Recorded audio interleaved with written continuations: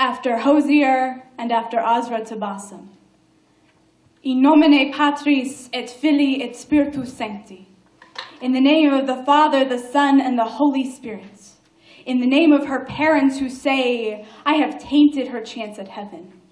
In the name of the rosary beads that shattered between my palms in frustration. In the name of the desert I am drowning in.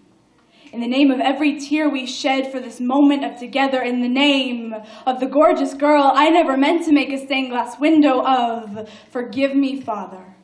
For she and I were not chiseled from the man's bone, from the man's fingers or the man's lust. We are made purely of woman, all red and all holy. We have hearts that are cracking whips across our insides, but we do not have hearts that are begging for atonement. Each one of our scars is just another letter to Him.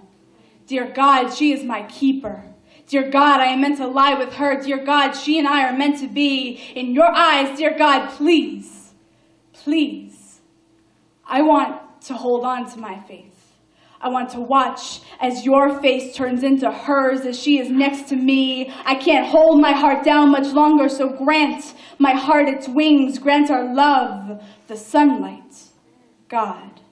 She and I were not born of ill bones or sick minds, but the weight of the world is beginning to feel like stones in our pockets. The world plants another poisonous fruit. We drown. Again, the world says that hell awaits us, and we say, We are heaven with hip bones. The world spits in our faces, but we can never wipe away the sting.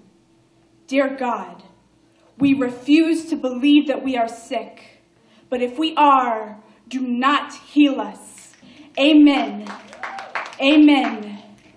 Amen.